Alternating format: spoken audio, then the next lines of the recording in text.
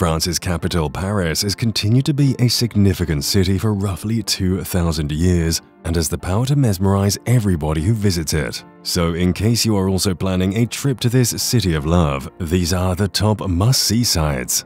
Number 10. Place de la Concorde Starting off the list, we have a magnificent octagonal square, which was designed in 1772 by King Louis XV's architect and served as the hub of 18th century Paris. Several significant historical occurrences, including the executions of Louis XVI, Marie Antoinette, and other guillotine victims, took place at the Place de la Concorde. It is one of the city's most appealing squares, and its magnificent proportions provide a breathtaking view of the city's attractions. With the Eiffel Tower visible in the distance, you can enjoy the Arc de Triomphe in one direction and the Louvre in the other.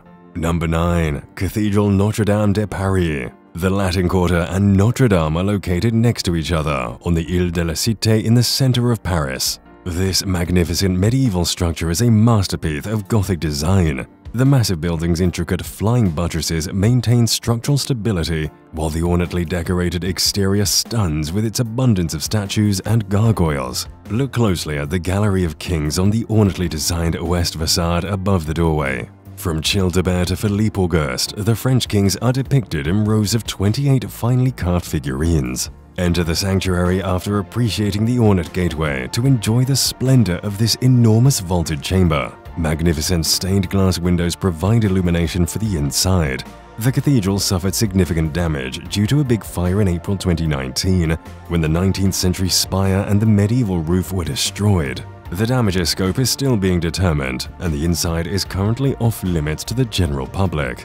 Number 8. Louvre Museum Next up is the Louvre Museum, which tops the list of the most famous museums worldwide. It's housed in the Louvre Palace and can be recognized by the distinctive glass pyramid at its entrance. The Louvre is home to a collection of about 1 million antiquities, including some of the most admired works of art in history, including The Dying Slave by Michelangelo and the Greek statue Venus of Milo, the lavish residences of Napoleon III, the antiquated code of Hammurabi, Egyptian artifacts and works of art by masters like Rembrandt and Rubens are some of the other well-liked displays. Also here is the Mona Lisa or La Gioconda, painted by Leonardo da Vinci between 1503 and 1505. Number 7. Avenue des Champs-Élysées. Before being groomed by André Le Nôtre in the 17th century, Paris's most famous avenue was an empty field of marshland. Parisian urban architect Baron Haussmann created elegant structures on the street a century later.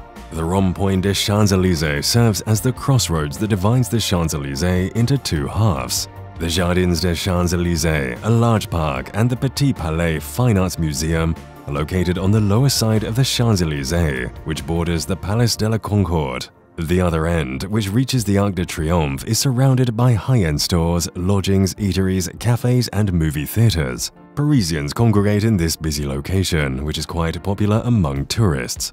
Number 6. Versailles Palace Versailles Palace is one of the biggest in the world, with more than 700 rooms, and offers an unparalleled picture of royal life when you visit. Known for its famous royal inhabitants from King Louis XIV to Marie Antoinette, the palace's opulently adorned chambers and priceless paintings are all quite enchanting. Here you could easily spend most of the day. Beautiful gardens with walking routes, statues, fountains, flowers, and trees are a treat for your eyes. Originally a royal hunting lodge, the massive building is extravagantly wealthy, elegant, and affluent. The royal apartments, the chapel, the Hall of Mirrors, the Royal Opera, the Museum of the History of France are all part of the ensemble, which is built in the architectural style of the 17th and 18th centuries. Number 5. Arc de Triomphe Napoleon ordered the construction of the enormous Arc de Triomphe in 1806 to commemorate his army's conquest throughout Europe, even though he was exiled and dead by the time it was finished 30 years later.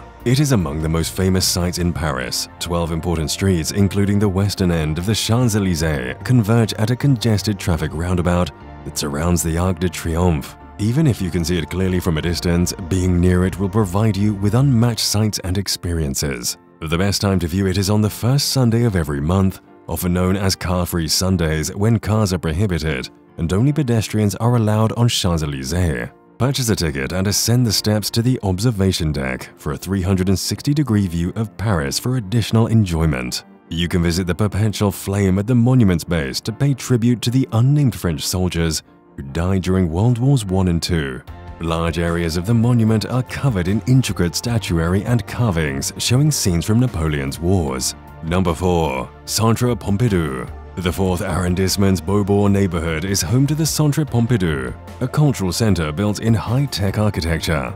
The Musée National des Arts Modernes, the largest museum of contemporary art in Europe, a massive public library, a bookstore, a theater and a rooftop terrace are all located there. The bottom three floors of the structure are devoted to the library, while floors 4 and 5 house the museum's permanent collection of antiques. Large expositions are held on the top floors. Georges Pompidou, who served as president of France from 1969 to 1974 and was responsible for the building's commission, is honored by having the center bear his name. Number 3. Sacré-Cœur Basilica you will be rewarded with the breathtaking sight of the Sacré-Cœur Basilica if you make the arduous ascent or take a short trip on the railway up the 130-meter hill of Montmartre. The well-known structure, constructed between 1875 and 1914, is Paris's second most visited monument. Additionally, it occupies the city's highest point. To commemorate the 58,000 soldiers who lost their lives in the Commune and Franco-Prussian War, the French government commissioned the Sacré-Cœur. It now represents the regaining of confidence following these horrific years of war. Each year, more than a million visitors come to the magnificent basilica to take in its interior decorations in Romanesque and Byzantine styles after ascending the 300 steps to the dome. Number 2. Luxembourg Garden Second last is the Luxembourg Garden, which is also the most well-liked park in the area due to its tall chestnut trees, the large pool where kids can ride toy sailboats, and several benches where visitors can lounge among the lush vegetation and magnificent statues. This makes it stand out among the other 448 other parks in Paris and two forests to pick from. The 60 acres of Luxembourg Garden are separated into numerous diverse regions, so despite the volume of tourists, it rarely feels congested, and a meal or drink in the outdoor cafe is more than enjoyable. Number 1. Eiffel Tower and at number 1, well, you guessed it, we have the Eiffel Tower which rises over the Parisian landscape is an icon of Paris and offers breathtaking city views from its three levels. Going to the top of the Eiffel Tower is often at the top of travelers' lists of must-see attractions in Paris, and obviously for a good reason. Nothing compares to the exhilaration of climbing the observation decks and watching the Parisian scenery below get smaller and smaller. You can also view the popular attraction from numerous other locations throughout the city. When the Eiffel Tower is crowded, waiting in line to buy tickets can take up to 4 hours or longer. However, if you make travel arrangements ahead of time, you can skip the regular line. This brings us to the end of this video. If you like the video, please consider subscribing and sharing so we can keep bringing more content like this one. Also, let us know your thoughts in the comments below. See you next time.